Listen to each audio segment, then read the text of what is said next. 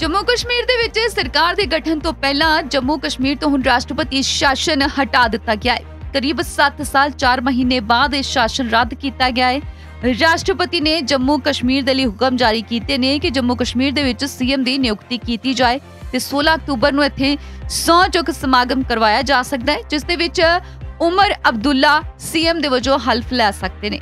ਸੋ ਦੱਸ ਦਈਏ ਕਿ ਜੰਮੂ ਕਸ਼ਮੀਰ ਤੋਂ ਰਾਸ਼ਟਰਪਤੀ ਸ਼ਾਸਨ ਹਟਾ ਦਿੱਤਾ ਗਿਆ ਜਿਸ ਕਾਰਨ ਨਵੀਂ ਸਰਕਾਰ ਬਣ ਸਕਦੀ ਹੈ ਤੇ ਉਮਰ ਅਬਦੁੱਲਾ ਐਨਸੀ ਕਾਂਗਰਸ ਗੱਠਜੋੜ ਦੇ ਵੱਲੋਂ ਮੁੱਖ ਮੰਤਰੀ ਵਜੋਂ ਸਹੁੰ ਚੁੱਕ ਸਕਦੇ ਨੇ। ਜੰਮੂ ਕਸ਼ਮੀਰ ਤੋਂ ਰਾਸ਼ਟਰਪਤੀ ਸ਼ਾਸਨ ਹਟਾ ਲਿਆ ਗਿਆ ਜਿਸ ਦੇ ਨਾਲ ਕੇਂਦਰ ਸ਼ਾਸਿਤ ਪ੍ਰਦੇਸ਼ ਦੇ ਵਿੱਚ ਨਵੀਂ ਸਰਕਾਰ ਬਣਨ ਦਾ ਰਾਹ ਪੱਧਰਾ ਹੋ ਗਿਆ ਕੇਂਦਰੀ ਗ੍ਰਹਿ ਮੰਤਰਾਲੇ ਨੇ ਇਸ ਸੰਬੰਧੀ ਗਜ਼ਟ ਨੋਟੀਫਿਕੇਸ਼ਨ ਜਾਰੀ ਕੀਤਾ ਹੈ ਤੇ ਰਾਸ਼ਟਰਪਤੀ ਦ੍ਰੋਪਦੀ ਮੁਰਮੂ ਦੁਆਰਾ ਹਸਤਾਖਰ ਕੀਤੇ, ਇਸ ਨੋਟੀਫਿਕੇਸ਼ਨ ਦੇ ਵਿੱਚ ਹੁਕਮ ਜਾਰੀ ਕੀਤੇ ਗਏ ਨੇ। ਦੱਸਦੀ ਕਿ ਨੈਸ਼ਨਲ ਕਾਨਫਰੰਸ ਅਤੇ ਕਾਂਗਰਸ ਗੱਠਜੋੜ ਨੇ ਹਾਲ ਹੀ ਦੇ ਵਿੱਚ ਹੋਈਆਂ ਜੰਮੂ ਕਸ਼ਮੀਰ ਵਿਧਾਨ ਸਭਾ ਚੋਣਾਂ 'ਚ ਜਿੱਤ ਹਾਸਲ ਕੀਤੀ। ਨੈਸ਼ਨਲ ਕਾਨਫਰੰਸ ਦੇ ਉਪ ਪ੍ਰਧਾਨ ਉਮਰ ਅਬਦੁੱਲਾ ਜੰਮੂ ਕਸ਼ਮੀਰ ਦੇ ਅਗਲੇ ਮੁੱਖ ਮੰਤਰੀ ਹੋਣਗੇ ਤੇ ਉਹਨਾਂ ਨੂੰ ਗੱਠਜੋੜ ਦਾ ਨੇਤਾ ਚੁਣਿਆ ਗਿਆ ਹੈ। ਜੰਮੂ ਅਤੇ ਕਸ਼ਮੀਰ ਦੇ ਪੁਰਾਣੇ ਰਾਜ ਨੂੰ ਦੋ ਕੇਂਦਰ ਸ਼ਾਸਿਤ ਪ੍ਰਦੇਸ਼ਾਂ, ਜੰਮੂ ਤੇ ਕਸ਼ਮੀਰ ਤੇ ਲਦਾਖ ਵਿੱਚ ਵੰਡਣ ਤੋਂ ਬਾਅਦ 31 ਅਕਤੂਬਰ 2019 ਨੂੰ ਜੰਮੂ ਅਤੇ ਕਸ਼ਮੀਰ ਵਿੱਚ ਰਾਸ਼ਟਰਪਤੀ ਸ਼ਾਸਨ ਲਾਗੂ ਕੀਤਾ ਗਿਆ ਸੀ।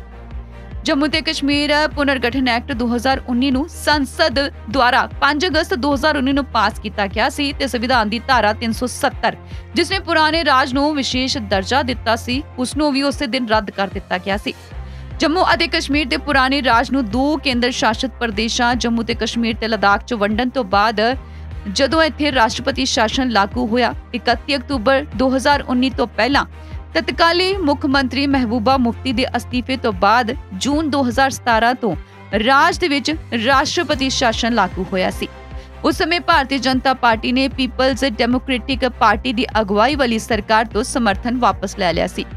ਹੁਣ ਜੰਮੂ ਕਸ਼ਮੀਰ ਦੇ ਵਿੱਚ ਸਰਕਾਰ ਬਣਾਉਣ ਦਾ ਰਾਹ ਸਾਫ਼ ਹੋ ਗਿਆ ਹੈ। ਸੰਭਾਵਨਾ ਹੈ ਕਿ ਉਮਰ ਅਬਦੁੱਲਾ 16 ਅਕਤੂਬਰ ਨੂੰ ਸ਼੍ਰੀਨਗਰ ਦੇ ਵਿੱਚ ਆਪਣੀ ਕੈਬਨਿਟ ਸਮੇਤ ਸਹੁੰ ਚੁੱਕ ਸਕਦੇ ਨੇ। ਹਾਲਾਂਕਿ ਤਰੀਕ ਅਧਿਕਾਰਿਤ ਤੌਰ ਤੇ ਨਹੀਂ ਐਲਾਨੀ ਗਈ ਹੈ। ਐਨਸੀ ਮੁਖੀ ਫਾਰੂਕ ਅਬਦੁੱਲਾ ਨੇ ਪਿਛਲੇ ਵੀਰਵਾਰ ਨੂੰ ਦੱਸਿਆ ਸੀ ਕਿ ਉਮਰ ਅਬਦੁੱਲਾ ਨੂੰ ਪਾਰਟੀ ਦੀ ਮੀਟਿੰਗ ਦੇ ਵਿੱਚ ਸਰਬਸੰਮਤੀ ਦੇ ਨਾਲ ਵਿਧਾਇਕ ਦਲ ਦਾ ਨੇਤਾ ਚੁਣ ਲਿਆ ਗਿਆ ਹੈ ਤੇ ਹੁਣ ਜਲਦੀ ਉਹ ਸਹੁੰ ਵੀ ਚੁੱਕ ਸਕਦੇ ਨੇ।